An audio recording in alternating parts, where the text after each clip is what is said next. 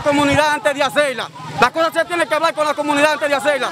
Por eso que estamos partiendo tubos. Y nos vamos a seguir partiendo y vamos a partir la calle allí para ponerla como estaba el agua, coñazo. Es un abusador, eh, coño. Porque tiene millones de pesos. Va a comprar a los otros pobres.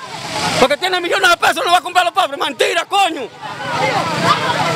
Hace tres días que no tengamos agua por la situación de esos tubos que se encuentran ahí, que lo piensan instalar en un barrio que están haciendo, que llega desde la chancleta hasta los cocos, va a salir. Entonces, aquí tengamos el propietario del barrio, no sé qué posición él nos va a decir a nosotros sobre el problema. Y queremos que nos resuelva el problema porque tengamos otro día sin agua y siempre aquí en la Soledad ha habido agua. Han, han puesto una fábrica de agua aquí en la Soledad y varios lavaderos de motores y pasolas, pero con ti eso uno le llegaba el agua. El problema es que después de esto es que el agua no está llegando. Uno es muy puntual pagando su agua. Es decir, que ellos tienen que dar la cara. A mí hacen cuatro días que no me llega agua a mi casa. ¿Y cómo una gente puede vivir sin agua? Díganme ustedes. Dice, que, y él dice le pertenece a la comunidad, que son de la comunidad. Nosotros no queremos tubos, esos tubos no son de nosotros. Si él va a tener agua por ahí, que nos resuelva entonces por la entrada, que hay otra llave de paso.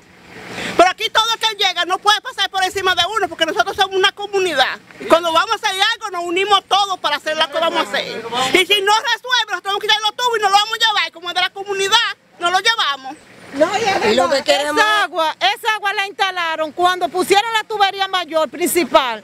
Instalaron esa agua por fuerza y hasta presos cayeron cuando instalaron el agua. Y la comunidad nos tiramos al cuartel, caímos todos presos para que lo soltara, porque si no, no tuviéramos el agua. Y reclamamos el agua con dignidad y sabiendo que somos todos humanos y aunque sea que nos resuelvan, porque nosotros no nos negamos que no la tenemos el agua, ellos, sino que nos den el agua como la teníamos, porque después de todo el día del viernes para acá, que aquí estamos sufriendo esta escasez.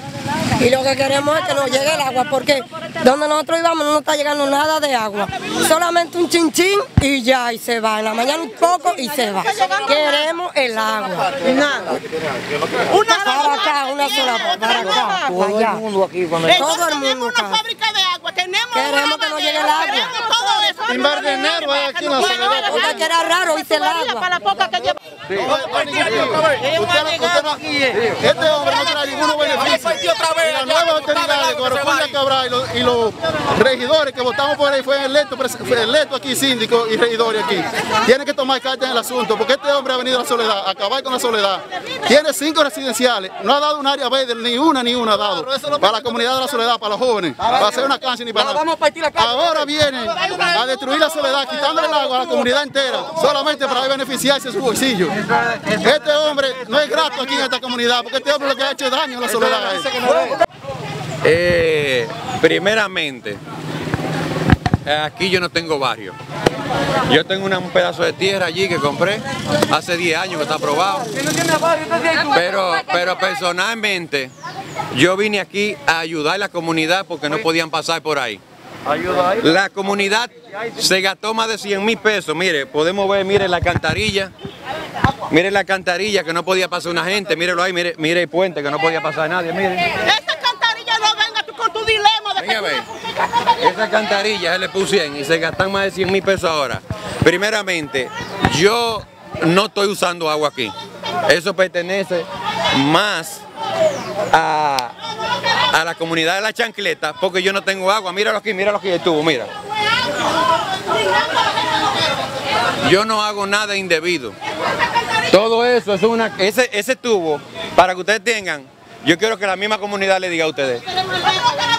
Mira, mira, oiga, di que se hunda eso, dicen ellos, pero oiga lo que te voy a decir, mira. Ese tubo generalmente iba por ahí, miren, miren, miren para allá, miren para allá. Hace un año que se cayó, como no hay fondo, que eso pertenece a la embutidora de ahí.